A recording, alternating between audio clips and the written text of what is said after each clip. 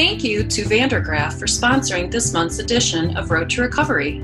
Visit their website for more information about the Vandergraaf drum motor designed specifically for heavy industry applications.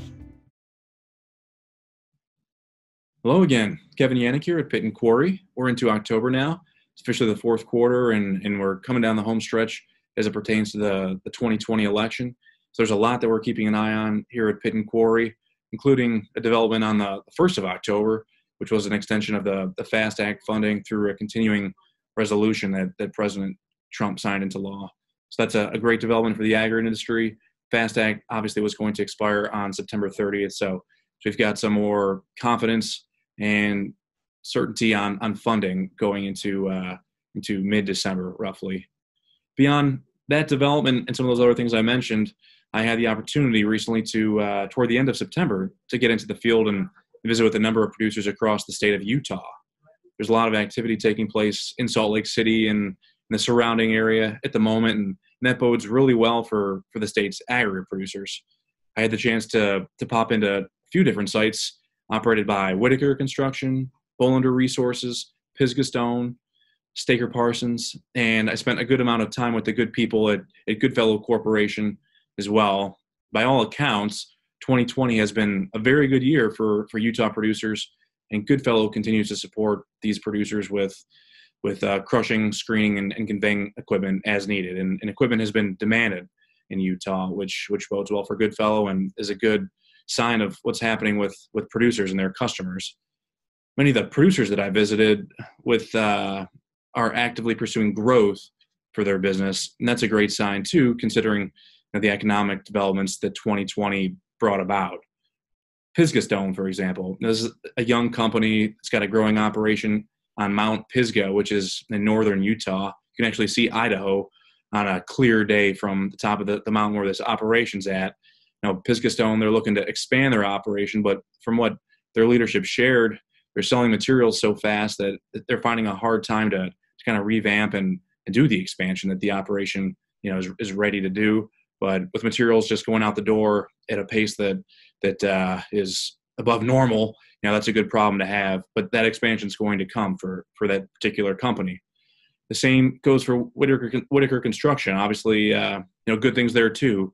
Whitaker's got a sizable history in heavy civil construction, but these guys who are led by Mike Whitaker, John Sather, and others, you know, they're rapidly building up their aggregate division.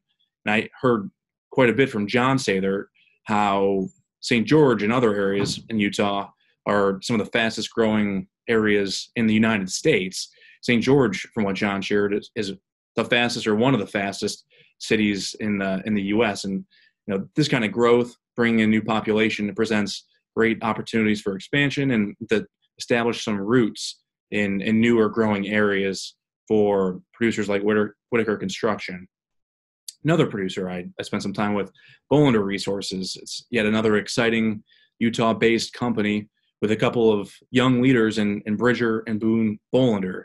They have a couple of fixed plants in Utah where they're they're operating, but their contract crushing business is, is really keeping them busy these days. And they're looking to expand that business into other parts of the, the US as well, outside of Utah. Now, all three of these producers, you know, Pisgah, Whitaker, Bolinder, they're supported by Goodfellow, the dealer that I mentioned, uh, whose branch is south of Salt Lake City.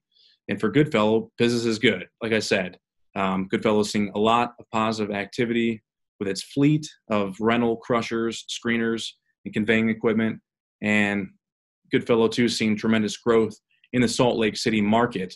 It uh, it probably represents where they're they're seeing the, the most growth, the most sales, and they're looking to replicate that in, in other markets where they they reside, such as Arizona, Nevada, California. So so good things are happening with Goodfellow and and other things are, are going to come good things for uh, for Goodfellow and, and those other western states. Now it was great to to visit the beautiful state of Utah. If you haven't been there, I suggest you get out, take a look at, at the mountains. You'll you won't regret that. But it was it was just as great seeing a number of Pit and Quarry readers, a lot of enthusiasm for 2020 for what these people are doing. Uh, it's it's been a good year, like I like I mentioned. The state's drawing plenty of people from from other parts of the of the United States who are identifying Utah as a go-to market, one that's growing, one that presents plenty of opportunities for for aggregate producers to do business in, and and uh, congratulate them on on their successes. And and thanks for for allowing me to come and visit the great state of Utah. Thank you to Vandergraaf for sponsoring this month's edition of Road to Recovery. Visit their website for more information about the Vandergraaf drum motor designed specifically for heavy industry applications.